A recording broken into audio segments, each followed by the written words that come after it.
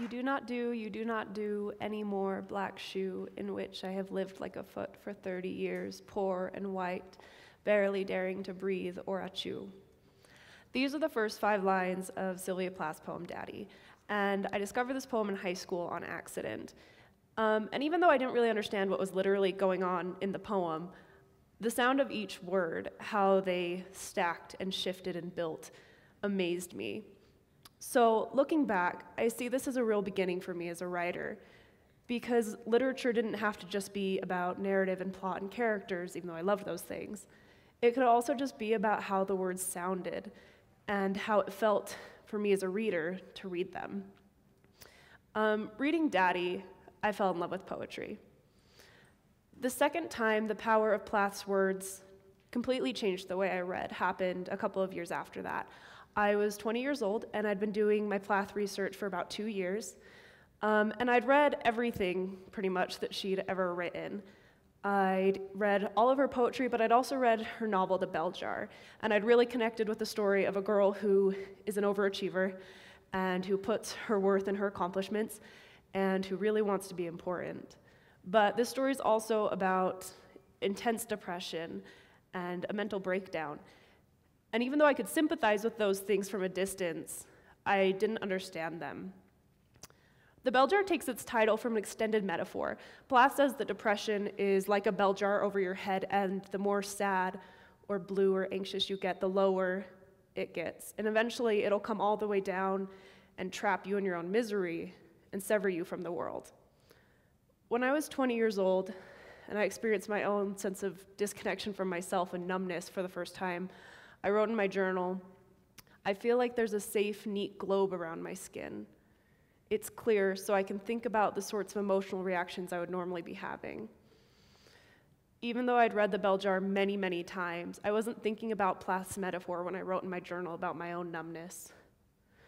This journal entry was really a transition for me from merely sympathizing with Plath's words to understanding them through my own trauma and experience.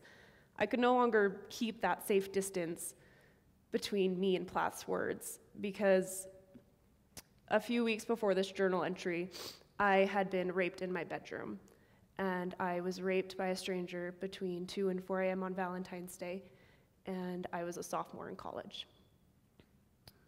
So, because of my rape, the bell jar changed. Nothing physically about the bell jar had changed, but my body had changed, and that trauma on my body changed the way I read her words. Because under my bell jar, I didn't know who I was anymore. I was broken and I was really wounded. And I was really grateful for the text that understood what it felt like for me to be wounded. Plath's words helped me navigate my own pain, and I realized that that's why I'd fallen in love with her in the first place and what I wanted to do for other people because Plath helped me feel understood.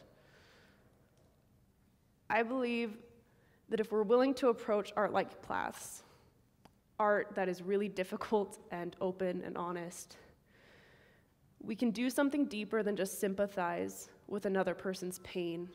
We can choose to sit intimately with that experience, and we can experience all of the emotions that make us human even if we haven't had that experience ourselves, or even if that experience is painful. Khalil Gibran said that all art comes out of a bleeding wound or a smiling mouth. And I think the same is true of all poetry. So that's what I want to make. That's what I want to put into the world. Words that are vulnerable and as true as I know how to make them, but words that also resonate beautifully with people and carry the potential to be understood by other people's joy and pain long after I've written them. I think Plath and the other writers I admire have helped me begin to do this.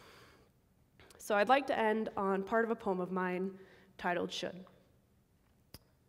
But I curled up, buried the alcohol, college, and summer or winter, the bedroom cut like white teeth, like pictures of before. The two touches I remember.